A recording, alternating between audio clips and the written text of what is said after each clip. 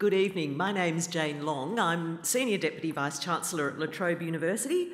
I'd like to begin by acknowledging the Wurundjeri people as the traditional custodians of the land on which we're gathered this evening and to pay my respects to their elders, past and present. It gives me great pleasure to welcome you to this evening's event entitled provocatively Fear and Greed Australia China Relations. And it's a collaboration between La Trobe Asia and ideas and society. And I'm also very pleased to welcome our audience who are joining us via live webcast this evening in Mildura and elsewhere. Tonight's panel brings together an array of very prominent speakers, and we're indeed fortunate and privileged to have them in the same place and this, at the same time. Tonight's proceedings will be chaired by Professor Nick Bisley, the Executive Director of La Trobe Asia, my only happy task this evening, therefore, is to encourage you to enjoy, react, respond, probe and question the panel during the Q&A. So I'd like now to hand over to my colleague, Nick, who will introduce the panel members, explain the format and who will chair tonight's proceedings. Thank you. Thank, thank you, Jane. Um, let me also welcome you and express my great pleasure in welcoming you to our Fear and Greed panel uh, discussing the state and future direction of the Australia China relationship. My name is Nick Bisley, and I'm the Executive Director of La Trobe Asia. Uh, as Jane said, tonight's program has been a joint effort of my team and Professor Robert Manne's Ideas and Society program. Uh, as Jane said, um, La Trobe is a regional university with four campuses based outside metropolitan Melbourne, and tonight Dr. Dr. Deb Neale is hosting members of the university community in Mildura to watch the live web stream of the discussion at our campus in northwestern Victoria. So I shall channel my inner Eurovision and say, Good evening, Mildura. Um, and of course, through, through the miracle of mobile technology, um, they'll have the opportunity to engage in the Q&A as you do uh, here in Melbourne. One of the few areas in which Tony Abbott was thought to have played a good hand as Prime Minister was in international affairs. The mismanagement, gaffes, and captain's picks were principally confined to the domestic sphere. Biting into onions, knighthoods for Greco British aristocrats, and at times unvarnished sexism was something that rarely interfered with foreign affairs. Even the odd statement that he would shirt front Russia's authoritarian president, Vladimir Putin, at the G20 was pitched to local media and was of little policy consequence. But the former Prime Minister did have one slip of the tongue on the international stage that had the potential to do considerable damage to the country's interests. During a visit to Sydney linked to the G20 summit, German Chancellor Angela Merkel asked him what drove Australia's relations with China, and Abbott showed his journalist instincts, swiftly replying that it was fear and greed. No bromides about friendship, shared futures, and never having to choose between Beijing and Washington.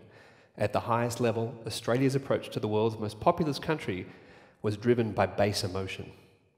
Now, diplomacy is normally couched in antiseptic and often oblique terms because of concerns about the consequences of sharp and honest language on the atmospherics of a relationship. Abbott showed with remarkable directness how Australians were torn between the opportunities and risks which China presents, as well as the visceral nature of our reaction to this country's remarkable return to power. The purpose of today's panel is to bring together four of Australia's preeminent experts on China to explore what animates the Australia China relationship, to ask whether the Prime Minister was right in this characterisation, and to think through alternative ways of thinking about and approaching this complex, fraught, but hugely important relationship for Australia. Uh, we're extremely pleased to have such an outstanding panel to lead our discussion, and I will briefly introduce them, and they will then speak for about seven to eight minutes each in the order I introduce them and then we'll have a moderated Q&A session. I will police their time in the same way that Xi Jinping has pursued his tigers and flies to ensure that we have plenty of time for discussion. Starting on my far right, although that says nothing about her politics, Linda Jakobson is the founding director of China Matters, a not-for-policy uh, sorry, not for policy, not for profit policy organisation focused on the Australia China relationship. It's, it is entirely about policy. Uh, she is also a visiting professor at the United States Study Centre at the University of Sydney and a member of the La Trobe Asia Advisory Board. On my immediate right, John Lee is a non resident senior fellow at the Hudson Institute in Washington, D.C., and an adjunct associate professor at the Strategic and Defence Studies Centre at the Australian National University.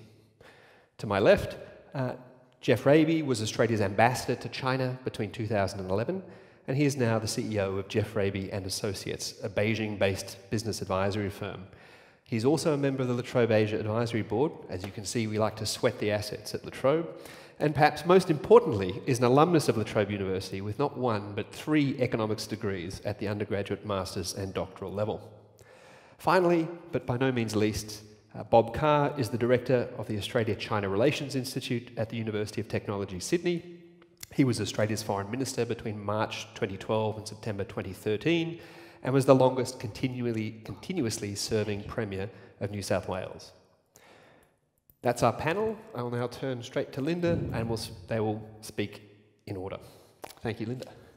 Thank you, Nick, and uh, thank you uh, to Nick, his team, to La Trobe Asia for inviting me, for organizing this panel. I think it's a terrific idea.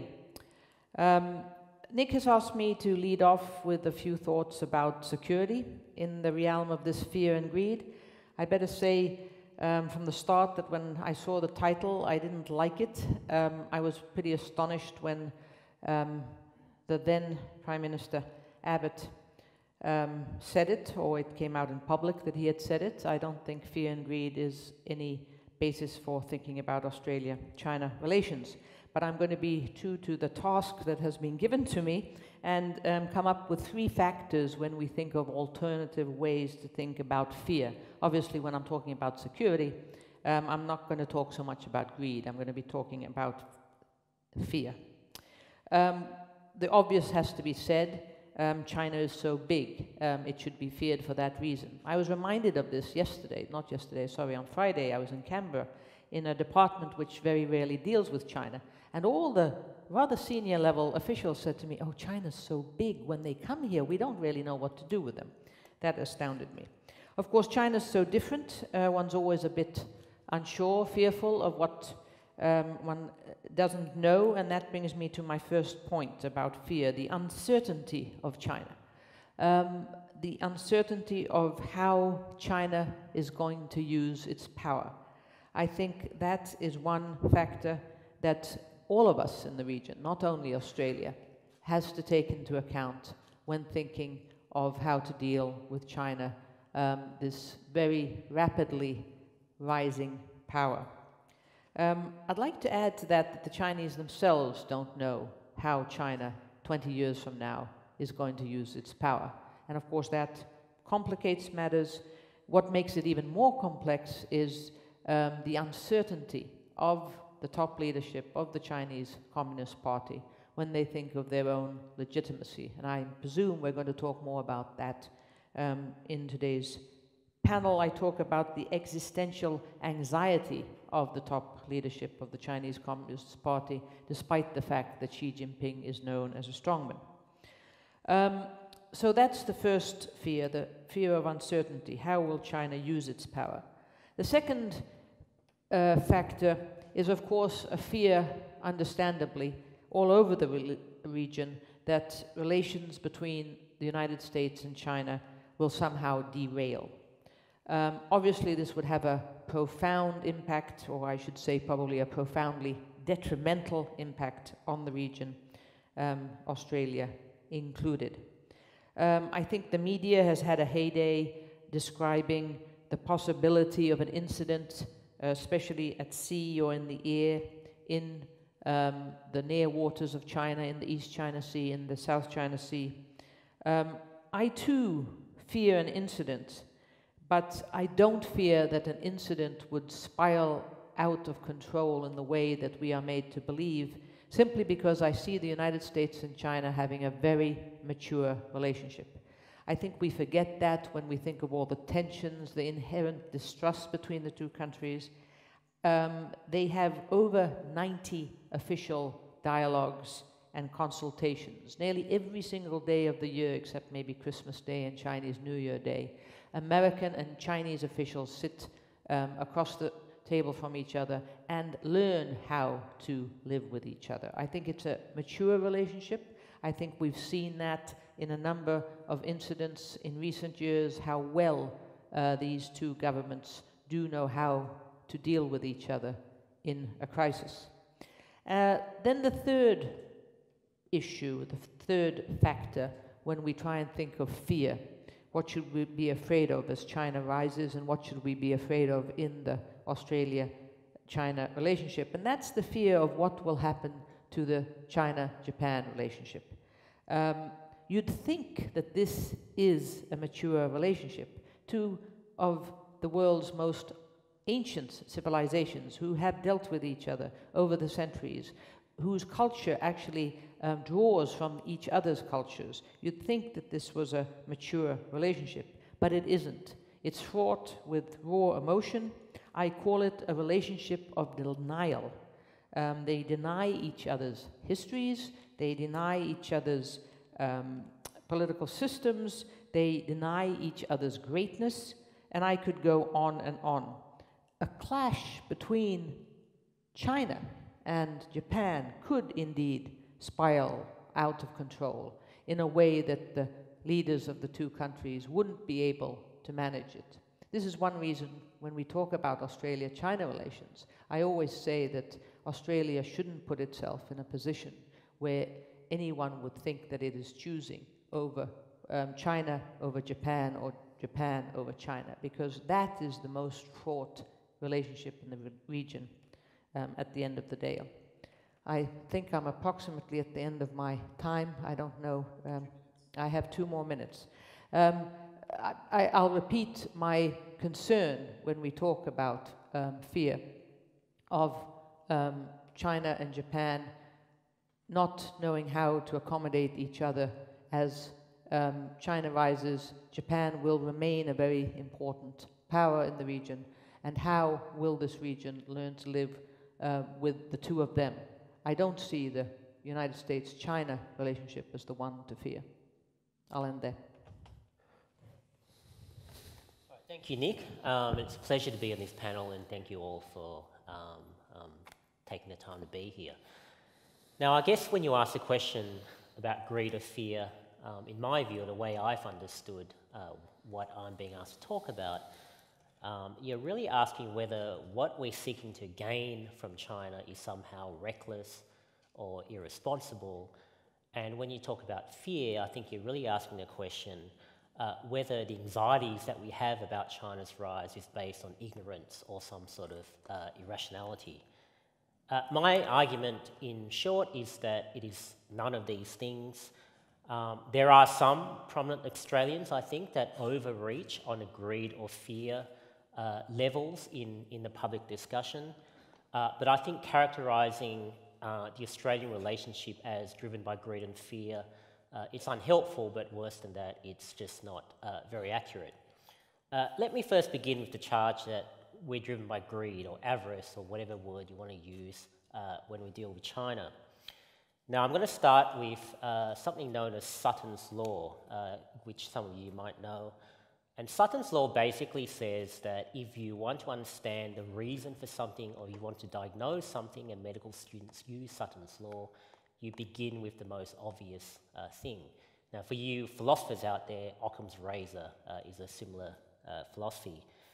Now, Sutton's law came or is derived from the famous uh, or infamous American bank robber, uh, Willie Sutton. He, over 40 years, robbed a series of banks from about the, the, the 1920s uh, to the 1950s. Uh, it's alleged that when he was finally in jail and someone asked him, a journalist asked him, Why did you rob banks? Sutton simply replied, Because that's where the money is. Now, it doesn't actually matter that this uh, interview is almost certainly apocryphal, it didn't really take place. Uh, the point is that when you talk about China, uh, you know, we focus on China simply because that is where the money is. That is where you make money when you conduct your trading relations. So, uh, those seeking to make a buck um, are going to focus on China. I mean, that's just what Sutton's law will tell you. And unless you happen to think that making a profit or open trade is a particularly heinous or morally dubious activity, uh, then in our case, selling what we have, things from the ground, education, tourism, uh, what we're going to do is sell as much as we can of these things to the Chinese, and that's certainly what has been done, and we're certainly not alone in the world uh, in, in, in doing that. But if you still have your doubts about whether this is a, a justifiable activity, uh, then consider why uh, we should place less emphasis or economic emphasis on a country uh, that occupies one quarter of the landmass of the Asian continent uh, and on which uh, lives about one fifth of the world's population. And if you still think that we should somehow uh, not trade as much as we do with China, then ask yourself for what purpose uh, and why that's the case. Now, even if you don't like some of the way, some of the aspects of how China's ruled, and, and I certainly do not like some aspects of how the Chinese Communist Party rules in China, uh, think what is a better alternative uh, beyond the Chinese Communist Party in the way that the country is constituted uh, at the moment? And would a decreased Australian economic emphasis on China really make for a uh, better outcome uh, in that country? Now, let me transition to a discussion of fear. Now, are we too afraid of China?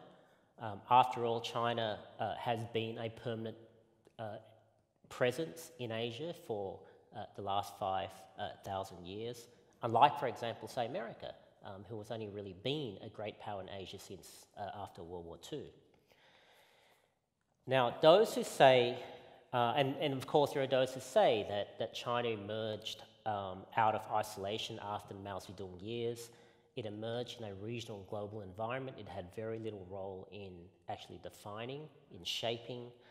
Uh, so, why should China, for example, um, be content to exist under uh, the rules that um, it found itself in uh, when it began to uh, open its doors uh, to the outside world.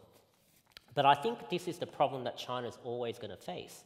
Um, you may point to justifications of why China may be a discontented power, and you may say, therefore, why fear uh, the Chinese.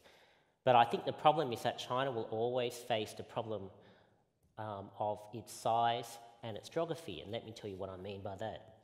Now, because of China's size, uh, everything that China does good, bad in the world, is going to have a deep and disproportionate consequence on countries around it uh, and, and, and, and on countries uh, in the world.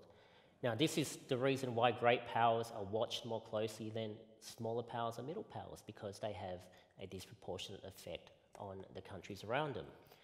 Uh, and because of China's geography, I mean, China is literally, physically, uh, the middle kingdom in, in the Asian continent, its actions is always going to have a disproportionate strategic effect uh, on its neighbours. So you take the disputes in the South China Sea as an, as an illustration. I think many will correctly point out that the, the, the, Philippines and Vietnam were building or reclaiming land features way before uh, what the Chinese were doing uh, and have been doing in the last 10 years. Uh, but China's recent activities are on a scale um, that is far beyond what the smaller Southeast Asian countries are able to do. And the point is that what China does just has more strategic consequences than what any other Asian country does. Hence, the fear of China, uh, which in, in, in that sense I think is an understandable uh, emotion. It's not an irrational uh, emotion, if you like. Now, add to this the prospect that China, which has been for centuries or thousands of years, in fact, um, a continental power, except for a few years in the Ming Dynasty, it is now becoming not just a continental power, but a naval power. Uh, there is justifiable and understandable apprehension in the region, uh, including from Australia.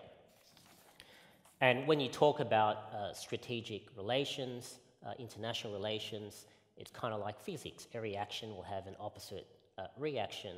And I think this is why you're seeing Australian and maritime powers uh, effectively um, doing anything they can uh, to ensure that America remains a permanent presence uh, in the region. Now, finally, let me, uh, in the last minute, just throw out a few principles uh, that I think should guide future uh, Australian policy with China. And in discussion, I'm happy to say why I think this is the case. Now, one, in my view, um, the outside world has a pretty limited uh, capacity to shape how Chinese leaders think and how they see their place in the world. Now, I think great powers, in concert with other countries like Australia, can offer collective carrots and sticks uh, to try to manage or, in some ways, regulate Chinese behaviour. But China will basically determine its own destiny, the shape of its political economy, the shape of its politics, the shape of its economy. Uh, there is not so much that we can actually do about it. This leads to my second principle that uh, you, have heard it some uh, in, in Australian debate at times, but I think Australia should resist what I'd see as the vanity or the conceit of uh, seeing ourselves as being in a role to play a role of a bridge, uh, particularly between uh, America and China. Uh, I think if we do that, we'll end up failing and we'll just end up annoying a pretty important ally and a pretty important economic power. And finally, I don't think we can try to predict or preempt the future uh, when it comes to forming policies based on China. I mean, China's not going to continue growing forever at, at the pace that it has been. What happens after that, we're not quite sure. China is probably going to end up as, in some senses, a strong and rich state, but still uh, a uh, sorry, a strong and powerful state, but in some senses still a weak country and certainly a poor people. Now, what that means, whether that means it's a more or less benign China, we don't know. That doesn't mean we don't do anything. It means we try to manage risk, but that's a very different thing from trying to uh, predict the future uh, when it comes to China.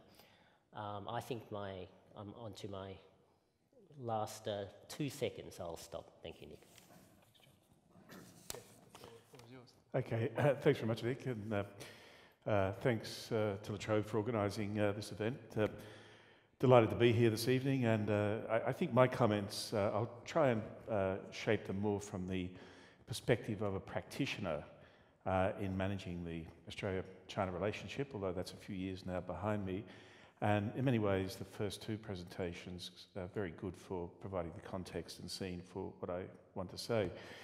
Um, from a what was then a Canberra perspective, in any case, uh, managing the Australia China bilateral relationship uh, is very difficult.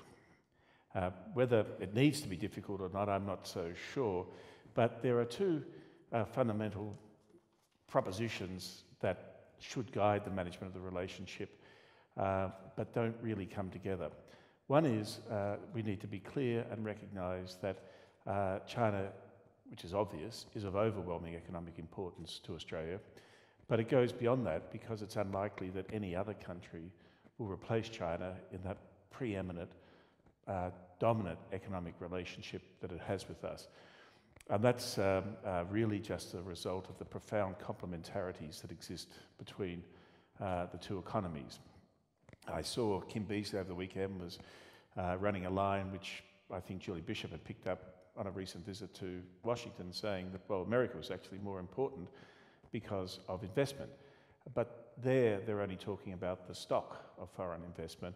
The growth, the flow, which is the appropriate measure, is um, uh, very much, uh, the trajectory is very much with China, and it's obvious that that will continue. So that's proposition number one overwhelming and enduring economic importance for Australia beyond anything we've experienced in a single relationship um, in the post-war period at least, uh, and it's not going to change. If anything, the interdependence will get greater.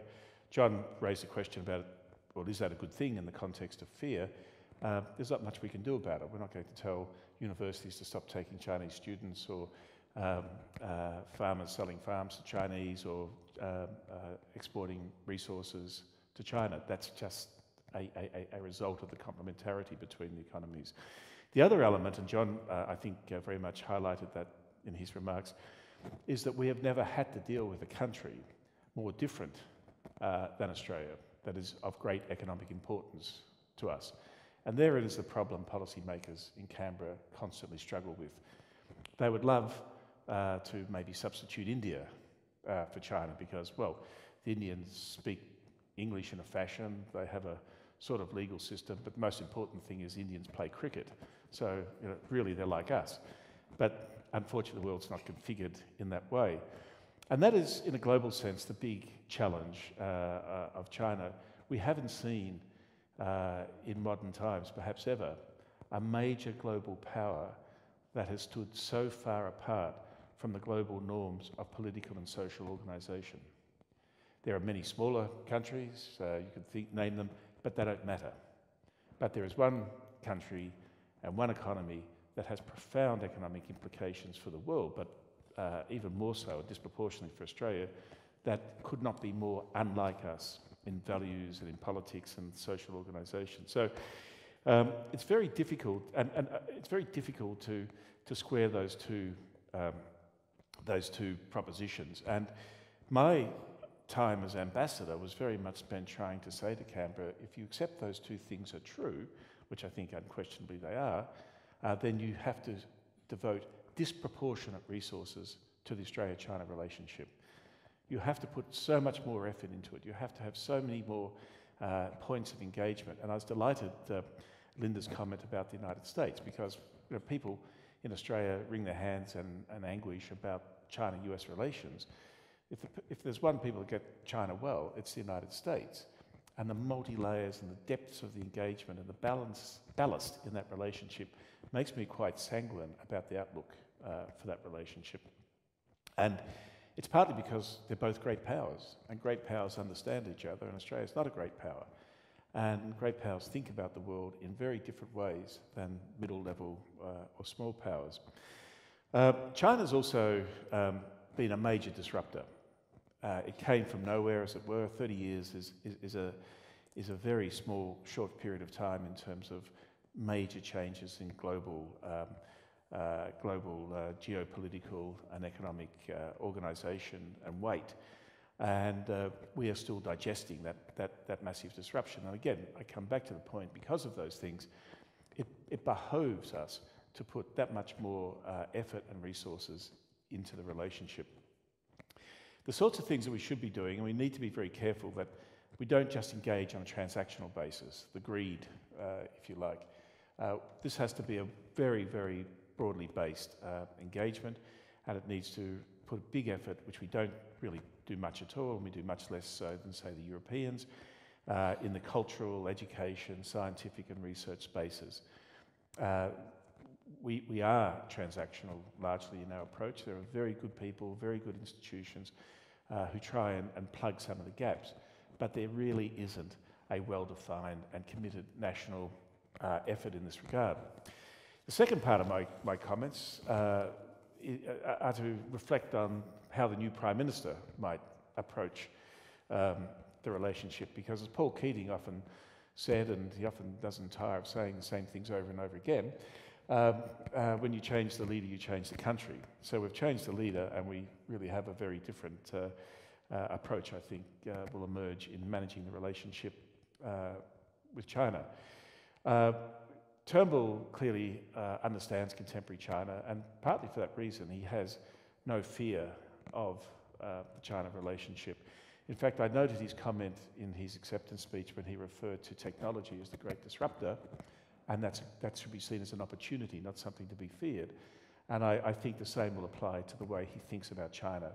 Uh, in terms of opportunity, uh, aren't we lucky in Australia to be so deeply engaged? Aren't we lucky to have the opportunity to position ourselves with this, this, this, this country, no matter how uh, different and at odds it stands to our own values. And he, of course, will be very true to his, uh, his uh, liberal uh, values.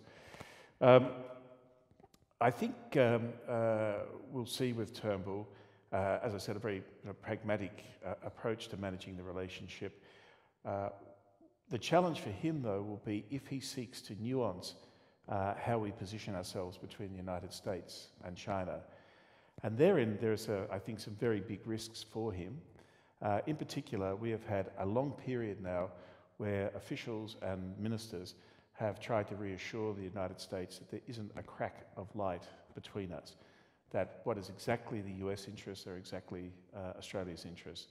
And so he'll need to be extremely careful in managing, managing it. And I think, in fact, his biggest challenge will be the United States if he wishes to reposition us, even to the smallest extent, uh, rather than China. And just finally, what would we want to achieve with this? And it is to uh, uh, do our bit to shape. Uh, oops, sorry, my time's up. Uh, do our bit to shape how China engages with the region. One concrete example: we made a complete mess of China's attempt to build a regional institution, the Asia Infrastructure Investment Bank. We could have joined at the outset, we could have had real influence and shaped that. Instead, we joined somewhere after uh, Finland, uh, somewhere after Norway and before, sorry, after Luxembourg and before Norway, hardly uh, well recognised uh, uh, shapers of the Asia Pacific region. I'll, I'll, stop at that point, look forward to coming back to this discussion, but I think you won't get that sort of muddle under a, a Turnbull uh, prime ministership. Thanks.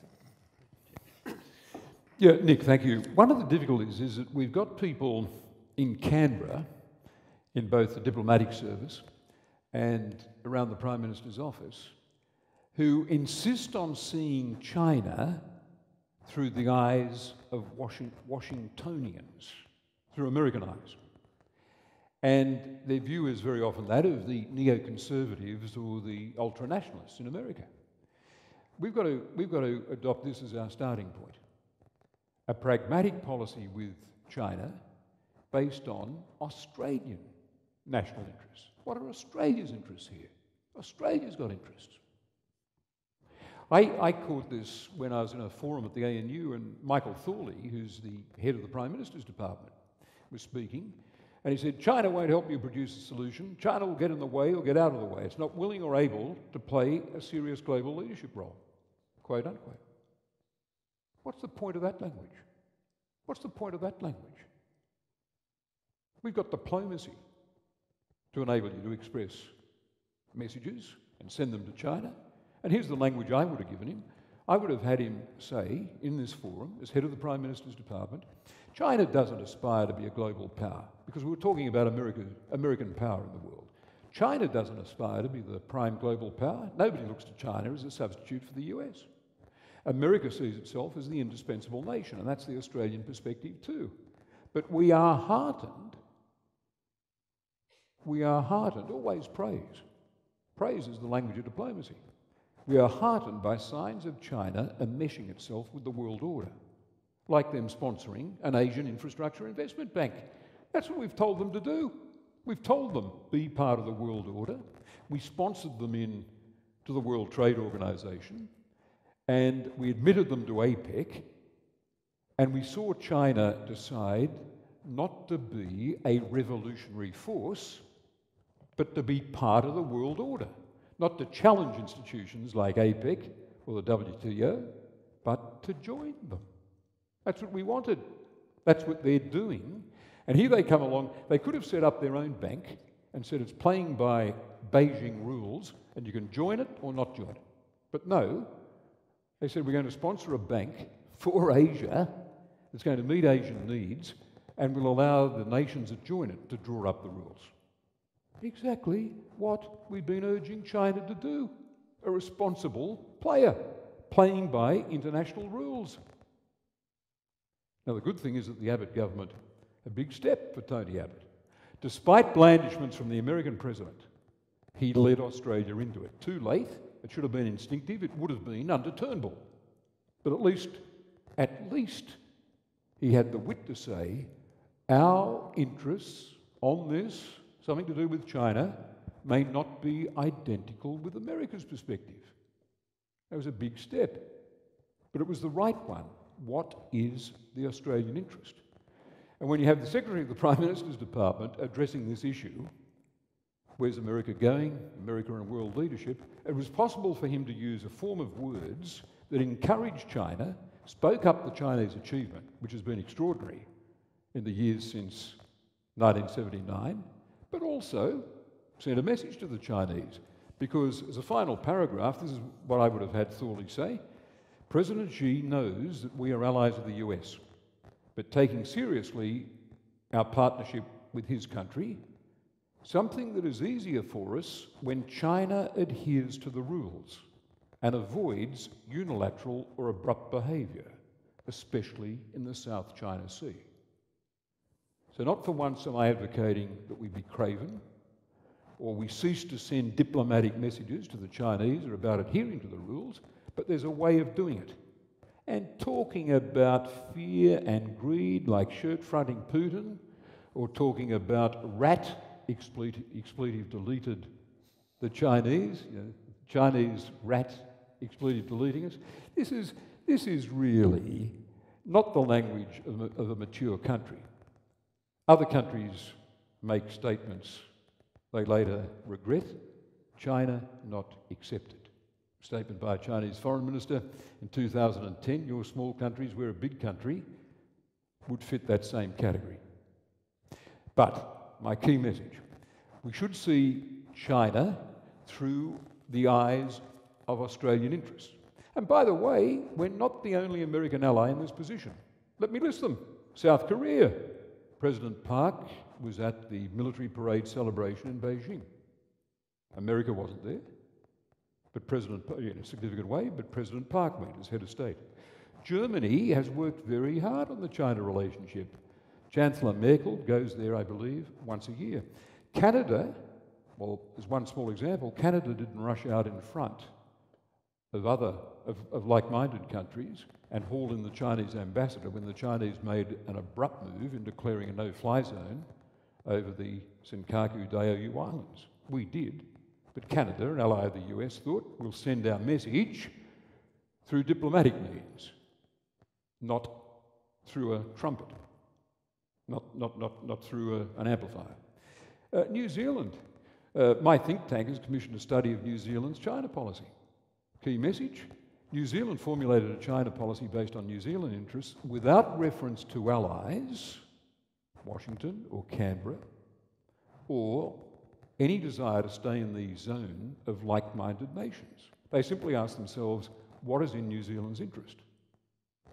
Singapore. I've explored Singapore's China policy.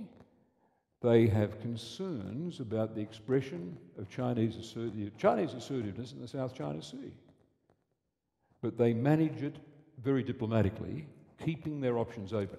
Look, I think, I think we've got more influence in urging Chinese restraint in, in the South China Sea than we've ever had.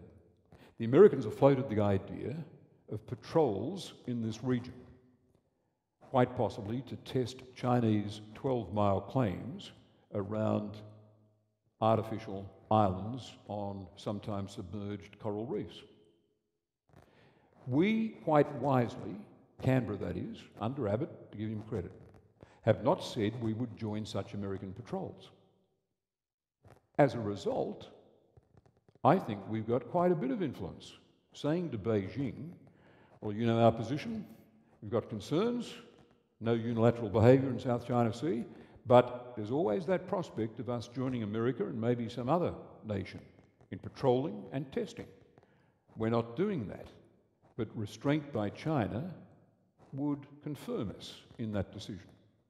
That would count. That would count. I want us to keep our options open here. I don't want us to close the options. We don't know, I think Linda said this in her opening remarks, we don't know what the character of, of, of China's international personnel, we don't know what China's international personnel is going to be like in the years ahead. Sometimes the Chinese are unilateralist, and edgy and anxious and abrupt. Other times, I've instanced a few examples. They're playing by the rules. Bear in mind that China's not a revolutionary power, it's a status quo power. It plays by the rules of the Westphalian system. There's one revolutionary power in the world, if you exempt North Korea and I suppose a few others, Venezuela perhaps, it is our great friend, the United States which, as a result of the Wilsonian impulses in its foreign policy, can send an army halfway around the world to rebuild a state, Afghanistan, or to remove a government, Iraq, or to give effect to a humanitarian intervention miles from its shores. China doesn't preach that, and China hasn't got the power to deliver that. America has. China has not got the power to send its forces halfway around the world to change a government or the impulse anywhere in its foreign policy to do that. I conclude with this thought. Uh, if you look at our website, you'll find something that I think is very useful. I wrote it. Uh, I stand by every word in it. Um, you'd find it in the website uh, australiachinarelations.org. It's an account of China policy under the Abbott government. In the first three months of that government, there are a few a few hard-line remarks, and they may, may have been missteps. Japan is our best friend in Asia. Well, you don't rank friends. It's not diplomacy to do so. Japan is our best friend in Asia. No need to say that. What you do when you go to Tokyo is say Australia has no closer friend in Asia than Japan. You say the same thing when you go to Beijing or Jakarta or Singapore. Australia has no closer friend. You don't rank friends. Tony Abbott declared, apropos of nothing and with complete inaccuracy, that we are an ally of Japan. And then called in the Chinese ambassador and announced we were doing so publicly to make a point over the abrupt Chinese move in the East China Sea. We didn't have to do it that way. But from 2014, the Abbott government remodulated, and it ran what I think is a pretty pragmatic policy on China. Uh, also on our website, you'll see an account of everything, everything Malcolm Turnbull has said about China in the last few years in, in summary form.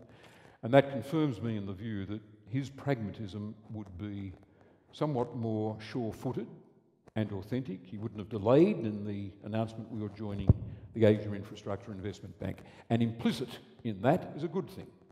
The recognition that we can run a pragmatic China policy based on Australian interests.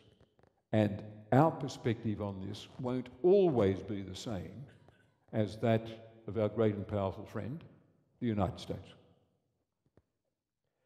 Thank you. Thank you, Bob. Um, with that product placement, um, for which our students studying Australian foreign policy and uh, China and the world will be very grateful.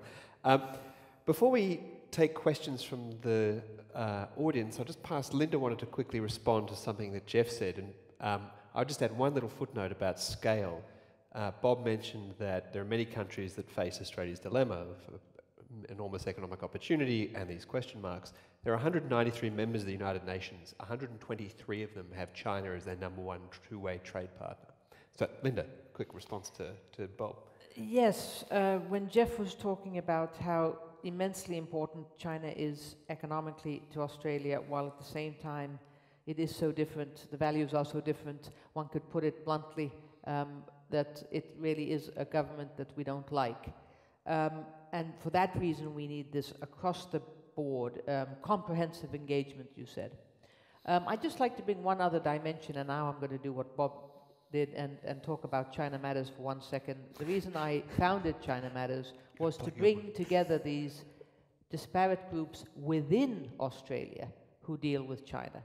Um, th those who are completely skeptics, um, who can only see the negative in China, and those who, again, don't want to see any of the real challenges that dealing with China um, entails. So, not only does, and I agree with what Bob was saying, um, Australia need to think about its own national interests when it carves out its policy towards China, but Australia also needs to um, bring together these many different kinds of diverse voices. And perhaps I'd just add not let the concerns be the overriding factor when we define our engagement and look at the, the, the, the real, perhaps, risks of a deepening engagement, but also not just let what you were saying, the transactional, um, what money Australia gets from it. Um, so there's work to be done also within the various elites of Australia uh, when we think of our engagement with China. And that's why I founded China Matters. All right, we have um, until 7.30. We have to finish promptly because our, a number of our panellists have to hightail it to the airport. Um, there is a roving mic. If I could ask you to ask a question or say something provocative, but please keep it short. There's liable to be lots of, um, or we hope there'll be lots of interventions. Um, the light's are a little tricky. I think Zara just here at the front. Zara Kimson from the Australian Institute of International Affairs. Um, Geoff, you said that uh, the US really gets China and Linda, you said that uh, there was a um, very a mature relationship over 90 official um, consultations during the year. I'm therefore I'm getting sort of mixed messages about the American relationship and how you know it's a level above us and we have to sort of um, increase our you know improve our engagement. But why would it be that the American government opposed the, China, the Asian Development Bank and also tried to encourage some of its allies not to join it. Uh, I'm, I'm so, first yeah. crack at that, if I may. Look, um, very good question. I, will tell you a little anecdote. I was participating in the Australia Canada Leadership Dialogue uh, a couple of months ago in Vancouver. Don't ask me why I got a Guernsey for it. I found myself there. But um, I happened to find myself at the concluding dinner with uh, Julie Bishop, the Australian Foreign Minister, and the Canadian Foreign Minister. And as you know, eventually Australia joined the Asia Infrastructure Investment Bank, but Canada never has. So as the questions were flagging and the evening was going on, I chucked a dead cat on the table and asked the following question to the two foreign ministers. Australia joined the AIIB, Canada didn't, who's right? Uh, which led to a long, um, a, lo- a, lot of words, but no, no uh, enlightenment. Um, look, uh, there's a lot of things going on in, in, the US, and, and my point's really about the, I think Linda's the same, the depth of engagement across the bilateral relationship. Um, I think the Asia Infrastructure Investment Bank uh, came from, the US should have seen it coming, they didn't. Um, but it seemed to be that this was the beginning of a, of, of a recasting, which it is, of, of the post war global international architecture, financial architecture, economic architecture, all of which the Americans created in Bretton Woods. And they did it to destroy the British Empire and British imperial preferences. And so uh, America has great understanding uh, of um, how these institutions can start to change uh, the global balance of power. So I think for them it became a very big strategic issue, not something in the bilateral relationship.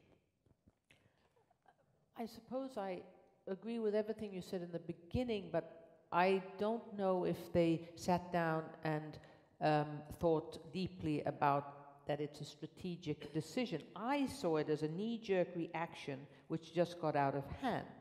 Um, I happened to be in DC at the time when this was all bubbling, and both Democrats and Republicans on the Hill were completely united in discussions. I was there with Julie Bishop.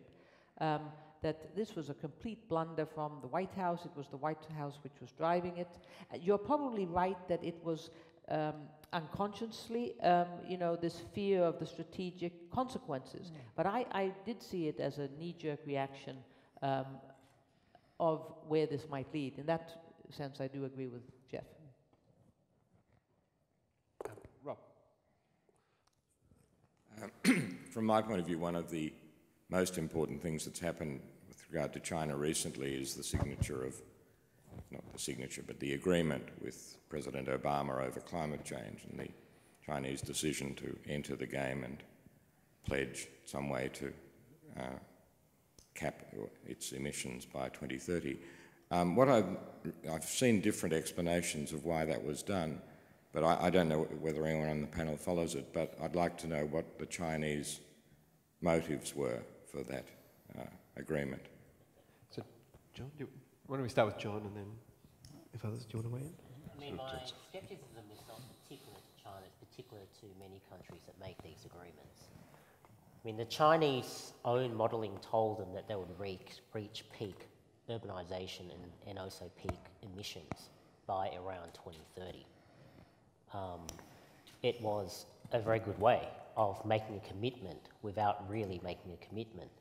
And since that announcement, I mean, things have been going on in China that are experimental and genuine in terms of lowering carbon emissions and various carbon lowering carbon emission schemes.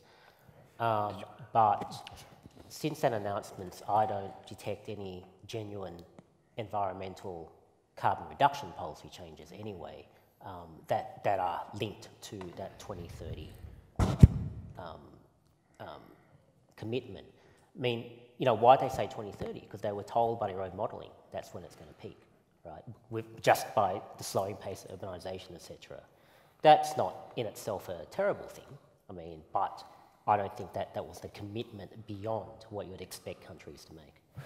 So, Geoff, you just wanted to. Um, yeah, look, just uh, two points. I, I, I, share John's scepticism, but it is the first time they, it's a change of principle. In, in, the past, they had a principle position that they would not agree to uh, a cap and reduction. And they said we were a developing country, and there was a lot about developing country leadership. So, in that sense, it's a change. Uh, but I agree with your scepticism. The date and everything is, is, is, is within their comfort zone.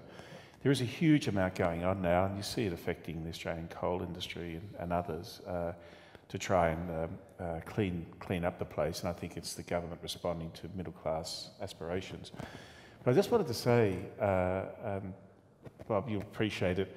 Um, what's fascinating is the timing of that announcement, that they made it um, uh, during the APEC leaders meeting, but it was made when Putin was in town.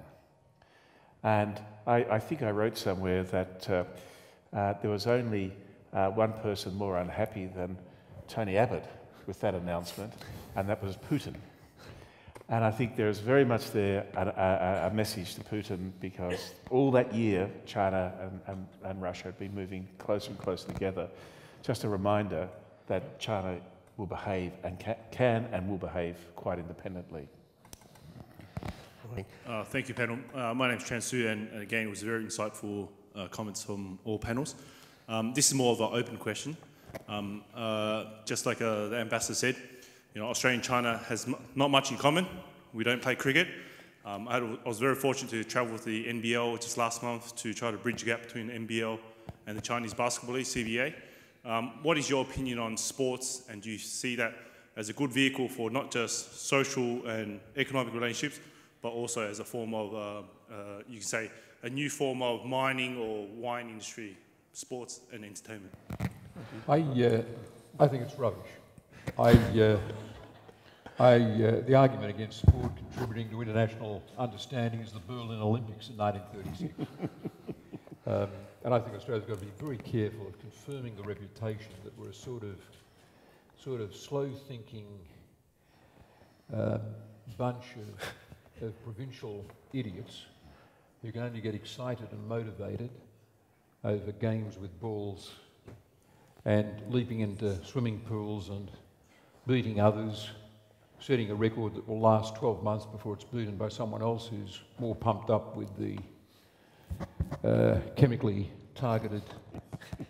Uh, I think the Olympic spirit's the word you're looking for, Bob. I, think, I, think, I think we should, uh, Australia should go through a phase in keeping with Malcolm Turnbull's comments the other, the other day, where we talk innovation and science and scholarship and learning and arts and leave sport off the list.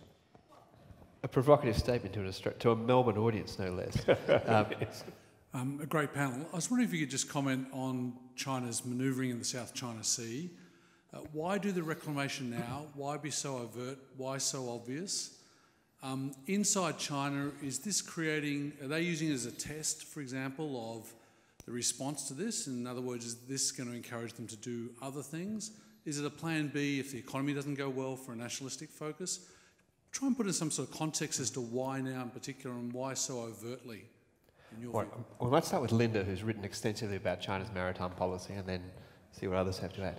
Um, China's policies in the East China Sea um, under Xi Jinping have been quite different from the South China Sea.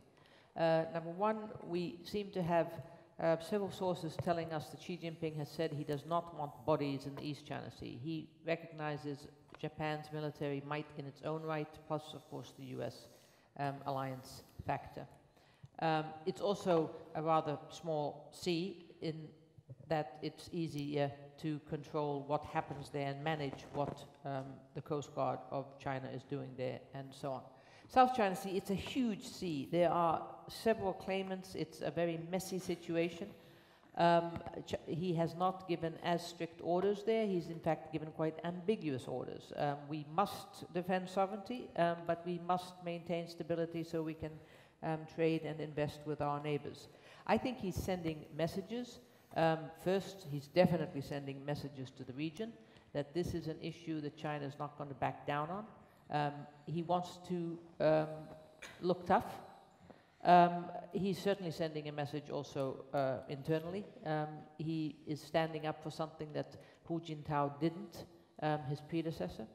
Um, one has to remember that the word contradiction in China, in Chinese, is not an overtly negative word. It doesn't have that negative connotation that it often does in Western languages. It's, it's made up of the characters sword and shield. What happens when the world's sharpest sword meets the world's most strong shield? Uh, it's a contradiction. Um, so while he's wooing the neighbors for all the economic benefit, political benefit that he can. He is going to, I think, remain very tough um, on this question of what China perceives as its maritime rights and maritime interests. Um, the reclamation um, work that's been going on, I mean, I think it was planned already in the late Hu Jintao era, but Xi Jinping has obviously um, given the nod that it can happen. John, do you want to? Yeah, um, I mean, first of all, it goes back to the size and scale thing. You know, as I mentioned, Vietnam and the Philippines uh, last century were in there before China. The difference that China has just this capacity to do it in such a scale that it's alarming, whereas what Vietnam Philippines did isn't alarming. So first of all, th there's a scale issue, which the Chinese can do largely because they're a much more powerful and bigger country.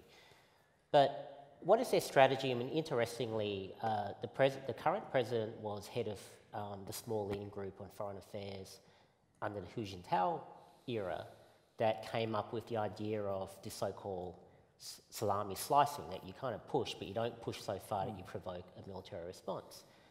And look, to be honest with you, if I was in the position of the Chinese and I thought, or I had pressures on me to make good my claim to sovereignty that have, I think have, uh, in some senses, not out of control, but they're, they're difficult to manage domestically, I would be doing the same. I mean, really, what's the cost to you?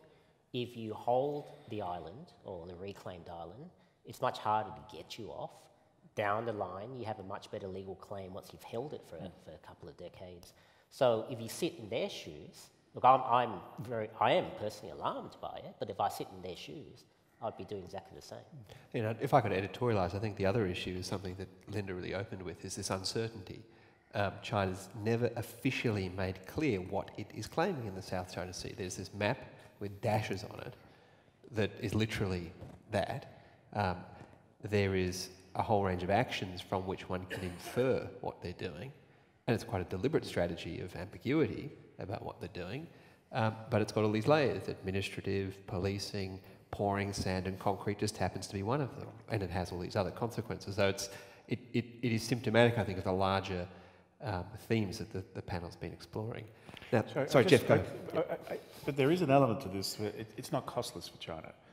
Uh, China had for a long time uh, cultivated its relations with ASEAN.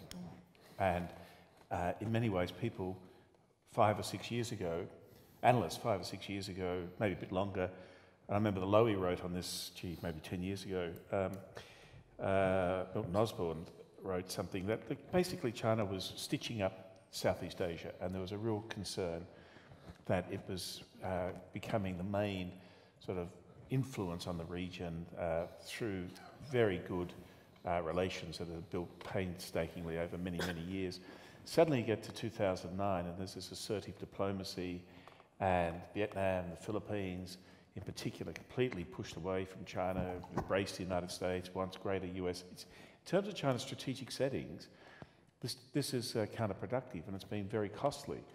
Uh, I'm, I'm, inclined, I'd like maybe at another time to, to, to, to tease out with, with John his, what seems to be a sense that the end game here is some sort of uh, negotiation, and that this period uh, is a period in which China is positioning itself, increasing its legitimacy, giving it weight. So at some point, um, it will have, uh, uh, it'll, it'll, tilt the, the, the, negotiating table more in its direction. And that's why it's prepared in the short to medium term to pay the price in terms of its relations with ASEAN. And quick. Two finger, it's exactly what a very senior official said to me. Xi Jinping's goal is to leave office so that he can say that I have cleared the table for a good uh-huh. negotiation for my predecessor. Right. It's not a question that he thinks that China is going to take any islands that it doesn't now occupy or do anything too dramatical. He wants to put China into a position that is a good negotiating um, starting point. That's what mm, um, has been said to me. Okay, at the back left up there. Hi, um, my name is Rebecca. I'm a La Trobe student studying social work. So my question is, um, I guess, about young people's um, future possibility and um, the free trade agreement that's going to happen. So, sorry, I'll try and make my point as succinctly as I can. Um, so I know our economic uh, system is tied up very much with exporting to China. As they slow down, that is obviously affecting our um, economy. Um, as we have rising unemployment, would the free trade agreement help that or hinder that? All right, if that's that- clear. Yeah, no, no, I think that's. I mean, I'm surprised it took that long to get to the free trade agreement. so, um, John, why don't you start with that, and John and Geoff, and then see and I mean, it, it's hard to see why it would hinder. But, I mean, my, look, I, you know, like most people, am fairly strongly supportive of signing this free trade agreement. But I also point out that, and once again, this is not particular to China, particularly the many free trade agreements with Asian countries, um, and that is that they tend to lower tariffs, but they tend to erect a lot of regulatory and other, um, other obstacles um, to, to prevent you from, from really accessing the economy. So the free trade agreement is clearly a, a good step, um, but it's really not the end of the story in terms of accessing the Chinese market. I, I actually think Geoff may may not disagree, but his business deals a lot with that, so he may be well placed to, to talk about that. and, and Geoff also was in office when it when the dis, the talks began. Yeah, well, the, the product boardings actually initiated the FTA. It was my idea originally. I went to Downer, um, and I went to, to Howard back in 2003, and we did it basically as soon as we'd done the FTA with the United States. And it was part of you know, a, a bigger picture. Uh, we were then the first developed country to go to China and talk about an FTA. It took two years just to get them to agree to start, and unbelievable uh, sort of negotiations, including giving China market economy status, which caused huge controversy, some of you may remember. Uh, but it really was just about a technical issue inside the WTO's anti dumping countervailing duties agreement uh, to, to deal with how you measure uh, a dumping or not. And it was purely a technical issue, but it was called market economy status, so people thought we were making some declaration about China being a market economy. It was far further away from that then than it is today. Um, but uh, in the end, you know, the, the, we were very slow in the negotiations for various reasons. We ourselves became very ideological about it. And um, I remember Bo Xilai, uh, after some lengthy negotiations with Mark Vaile, describing Mark Vaile as uh, uh, bookish and stubborn. Uh, the first adjective I don't think would rush, uh, rush to your mind in the context of Mark Vaile, but uh, stubborn he was and subsequent negotiators were. Look, I think we have a very good agreement. It's better uh, than I thought when I left office, and it's better because not only does it level the, the playing field with our competitors, because we've suffered for many years now, because others followed us in, um, uh, competitive disadvantage in agriculture, particularly in, in sheep meat, wool, uh, wine, dairy, uh, with New Zealand and uh, Chile who have duty-free access. So this now levels the playing field and gives us um, uh, the same uh, competitive standing in the market. But it also has services, and we always had services as an objective, but um, it looked like we would never get services, and we have now. I think, you know, that it's not massive, and, and, and, and John's right. I mean, there's all sorts of behind the border uh, uh, uh, regulatory issues that, that mean these things don't actually, in, mean things, these things in practice aren't actually as good as they look in the headlines. Uh, but it is, we are the first and only country China has included a services chapter with in an FTA. Now, I'm sure Andrew Robb and his team are fabulous negotiators, but I think there's a very interesting insight into what's happening in China, and that is they're using the FTA to partly push forward their domestic reform agenda. And the key area now of domestic reform is services, particularly financial services, and we have elements of financial services in this agreement. It's very much like what Zhu Rongji did in the early 2000s with the WTO entry. They used their WTO agreements to force the pace of domestic economic reform, uh, to overcome domestic political obstacles uh, to reform. Um, and I think we're seeing it in a small version in our FTA with China. So I think by and large, it's a very good, uh, it's a very good thing. Bob, did you want to just quickly add something? Yeah, yeah, the issue now in Australian politics has reduced itself to the question of whether the, whether, whether the Australian Parliament should legislate to mandate labour market testing before any Chinese labour can arrive in the country. Now, the dangerous point about that suggestion is that we haven't got a legislative requirement associated with the FTAs that we've concluded with Thailand, Japan, South Korea, the United States, or Japan. So the Chinese would be getting the message we're only concerned about your labour arriving here. In fact, the chances of an Australian company going to China to recruit a tradesperson are negligible because, under the law, one, it has to be someone whose qualifications are recognised in Australia, and two, they're going to have to be paid Australian wages and conditions anyway. So, why would anyone actually go to China to recruit the labour?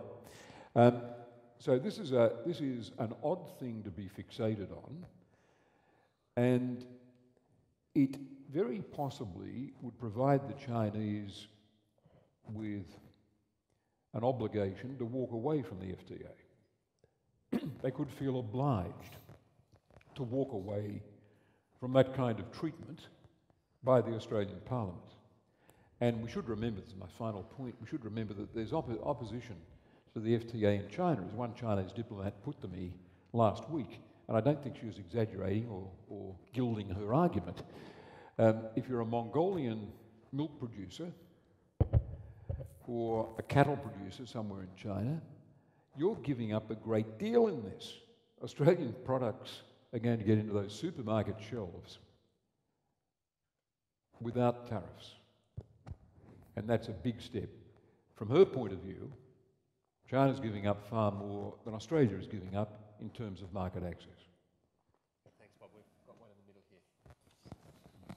Hi. Um, it's quite a common pastime for people in uh, you know, Western nations to consider um, politics in other countries, not for our own interests, but for the sake of the interests of the people in those countries.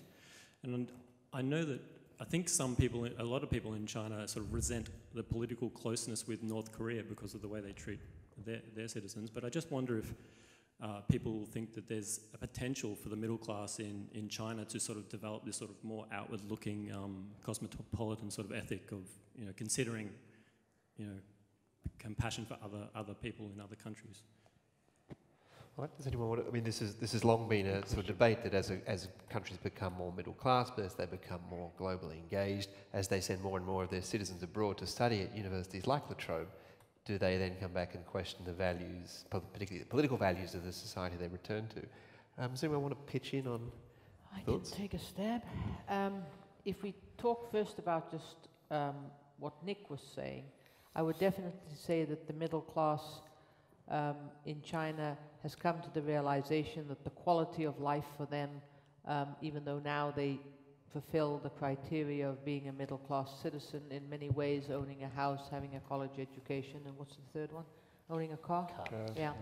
Um, they, they fill those criteria, but the quality of life is never going to be what they see when they go to Australia, the United States, Canada, Europe on a holiday, and they all regularly take holidays with the whole family in these countries. So there is a realization uh, because of a number of factors um, that they're not going to breathe clean air, drink clean water, and, and um, have the space in the cities um, that most Westerners have. Now, when you come to political values, they're absolutely against the corruption.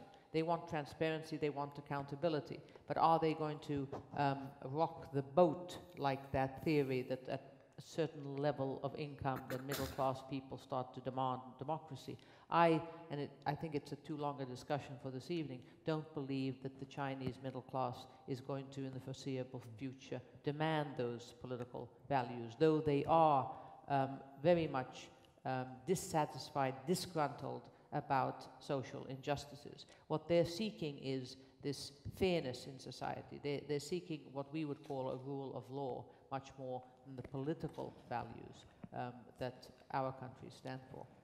John. Just very quickly, I mean, once again, this is very anecdotal, but um, if, if you think about what makes democracies good, in, in our view, you know, it's, it's those things, transparency, justice, access to, to courts, etc.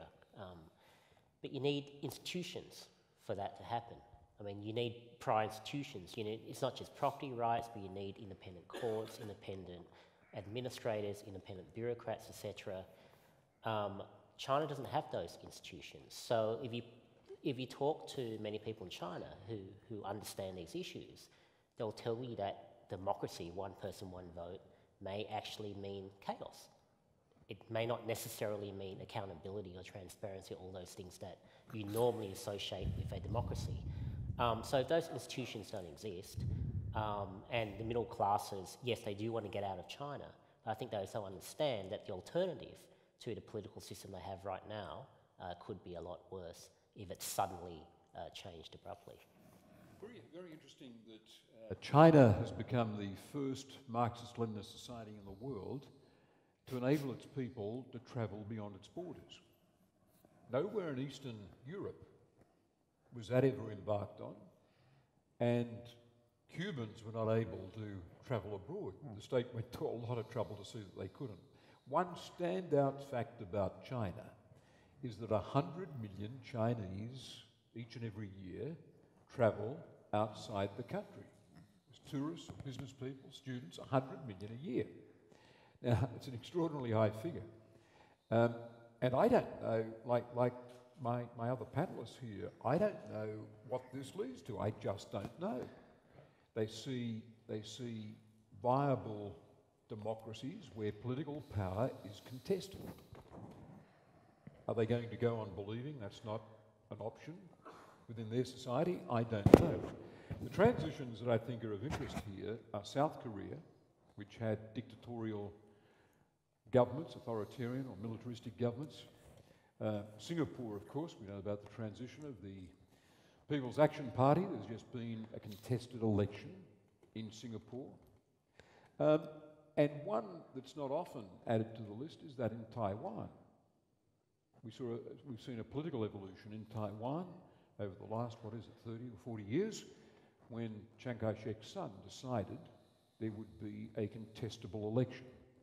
It's a big transition when a governing political party with a monopoly of political power, like, like the People's Action Party in Singapore, can say, well, we commit ourselves to an election, we're going to fight hard to win it, but we're really implicitly living with a situation where this election or the one after or the one after that, we may lose office. And as in Taiwan or as in South Korea, do a stint in opposition before we get back into government. One of the reasons watching China is so fascinating, I guess, to each of us on this panel, is that we don't know where this narrative is going to lead. We simply don't know. I will make a comment. Please, no, go for it, Geoff. I, I, agree very much with that last, uh, that last uh, comment by Bob, but this is completely intuitive. Uh, there's no science to it. But my sense is that what you're seeing in China is just a reversion back to very old and ancient forms of political and social organisation. Um, and that these labels of Marxism, Leninism, let's face it, they're, they're anachronistic, archaic badges from the 19th century in Europe that don't have any basis in China whatsoever. They've just been stuck on. They use those labels now, they mean nothing at all. They have no content whatsoever. But that, uh, you know, this is how China has been, been governed uh, for a very long time, and I suspect most people understand that and are um, reasonably comfortable with it. Do, do, you remember, do you remember Henry Kissinger's book on China, where he gives a, a very humorous account of how in the 1990s, Nancy Pelosi, as the leader of the Democrats in the House of Representatives, was saying, well, when it comes to fixing up relations with China, we've got to insist on complete freedom of speech, complete freedom of, of, of the press, and then we'll go on from there, getting other gains year by year. And Henry Kissinger remarked, this showed a lot of optimism about a political system that had never seen freedom of expression in its 4,000 years of recorded history. Uh, the, the, uh, just uh, a little bit of humour towards quick, the end. quick, but, uh, quick bit of humour. But uh, Bob's point about movement reminds me of when uh, Jimmy Carter first went to Beijing in about 1976 or 77. He was reading the riot act of Deng Xiaoping about uh, how uh, the people are imprisoned inside China and can't get out. And Deng Xiaoping said, Well, uh, how many hundred million do you want? Yes. you can have them tomorrow. Yeah, although the, the, the thing about travel, I mean, it's yes, Chinese people can go abroad, but they still find it extraordinarily difficult to move between cities. So there's that freedom of movement inside the country, which is which is a, a big challenge. So in the middle, I think Georgina's been very patient. So. Thanks, Nick. Uh, Georgina Downer from AsiaLink. I wanted to pick up on um, something that Linda mentioned about the flashpoint really being US Japan relations, and then pick up on Bob's comment about China Japan. Sorry, thank you. China Japan, China Japan being a flashpoint, and Bob's comment about um, Australia misstepping or Tony Abbott misstepping, saying that uh, Japan was Australia's best friend in Asia. I'd be interested in uh, John and Geoff's comments on how, how should we uh, how should we as a country then play Australia-Japan relations vis-a-vis China, vis-a-vis the US? Who wants to go? John? Okay. Yeah, I mean, it, it, my response will come back also to, to Bob's initial remarks when he started and, you know, urging a, a more pragmatic policy when it came to China and quite correctly saying that our interests with the US don't always align, and presumably with other like minded Asian allies clearly always don't align um, all the time. But part of our problem in Australia is that often we join wars with America not because we want to, because we're managing the alliance, right? Because the, one of the strategic, or perhaps the biggest strategic disaster for us, for Australia, would be the end of the alliance and all that entails and all that we gain from that alliance. The second part is, and, and a broader picture, strategic picture, I think, in East Asia is that, you know, at, in, on, in question is the sustainability of the American centric alliance system. And Australia, like Japan, is very desperate to ensure that the alliance system can sustain.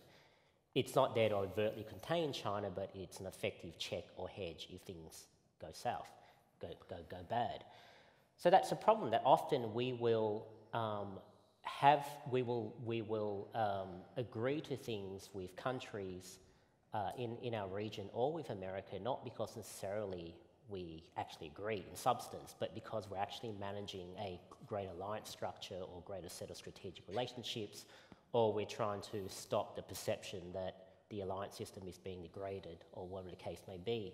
So back to your question with Japan, I mean, you know, the look, Abbott was should not have called Japan our best friend in Asia, but in my view, what Abbott wanted to achieve um, was, and I have no inside information on this, but it seems to me what he wanted to achieve was to help bring Japan into a broader strategic picture and role uh, on the basis that this would strengthen the network, the US centric network of security alliances uh, in the region for that uh, purpose of, of keeping a check in China. So, you know, with, with Japan, um, Japan is really uh, the only other country outside China that has formidable military and strategic weight.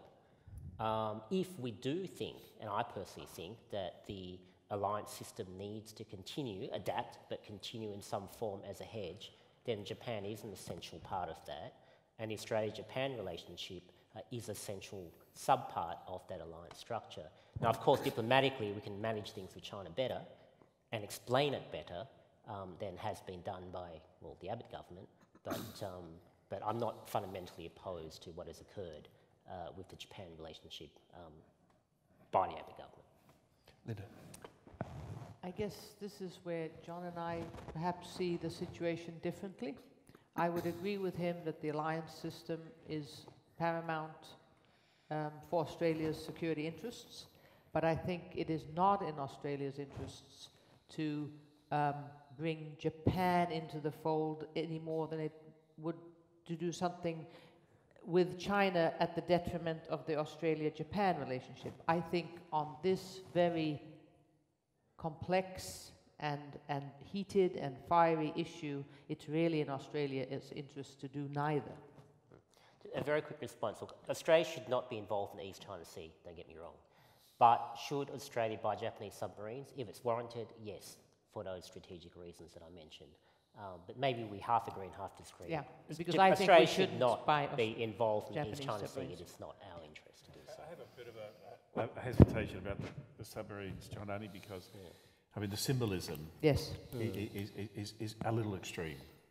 And when it comes from after the Prime Minister's uh, saying, or former Prime Minister saying, we admire the Japanese troops in the war, uh, we have no better friend. The than- submariners in particular. The submariners, we have no better friend than, uh, than Japan, and then we, we are going to have submariner, we're going to have a submarine. What I'd like to say, though, uh, just in addition that hasn't been said, is that what we mustn't do is get into any space that China can interpret as containment. And uh, Abe, before he was elected the first time round back in 2006, wrote a book uh, that envisaged the, the coalition of democracies, or the five uh, the democracies in the region. And China went absolutely nuts when Abe got elected. He lent on, um, on uh, the Bush administration. Uh, uh, they bought in on it. Uh, India, Australia, um, and, and the Chinese just saw this as pure containment, bringing Cold War ideological division into Northeast Asia. Um, now, it all fell apart uh, when Howard uh, was defeated and then, then uh, Bush. Uh, but there's a flirtation, or there has been a flirtation with that as well. It's, it's developing a mature understanding of, of, of hedging, and I think the alliance relationships are extremely important to that, but not then going the next step to having some ideologically formed group called the Coalition of Democracies. I used to ask, I was that Deputy Secretary at the time, very much opposed to this, but lost the argument. If it was truly a coalition of democracies, why wasn't South Korea included? Well, we know the answer because of Japan. Yeah, the arc of freedom and I- democracy I think, was, I think, was I think just, on, disjointed. just on this very briefly, we've got more influence in urging restraint on Japan and on China about their behaviour in the East China Sea if we're seen by both of them as being scrupulously neutral. We've just got more influence. There is a body of opinion in Canberra, you probably dealt with these people when you were there, who are drawn to the idea of, of on ideological grounds, of Australia getting measurably closer to Japan in a way that sends a message to China. In fact, I was told when I was minister that somewhere in the city, somewhere in Canberra, there is a draft treaty with Japan with ANZUS style clauses in it in someone's bottom drawer. And I said, well, we need to find the nearest incinerator and take care of that. But, but as someone who admires Japan and thinks we have got a commonality of interest, um, I think it is overwhelmingly in our interest to let it be known at every point. We are not taking sides, we're not moving measurably closer to Japan in their dispute with China. From that vantage point, we can have more influence in urging restraint on both of them. On both of them. I'm serious about that being a message for both of them. On the subs, I'd, I'd be saying we're entitled, as a sovereign nation, to buy submarines from whoever, wh- whatever consortium is offering us the best deal, the best subs at the best price. But it is important that choice emerge from a serious competitive bidding effort. Because if it looks like a gesture, a strategic gesture, there's only one interpretation the Chinese will put on that. All right, very last one in the middle there. I think you've got the microphone already. If you could keep it short and sharp. Thank you. Um, my name is Basil Dimitriou. I wonder if the panel thinks that China is aspiring in the medium term uh, to become a global, a global hegemon, um, a la United States, or is that too late because there's just too many other powers around? Not remotely, I would say. Not remotely. No? No. No. No. There we have it. Unanimous. On that note, uh, please join me in thanking our panellists, for, particularly for the brevity of their last response. Yeah, yeah, no,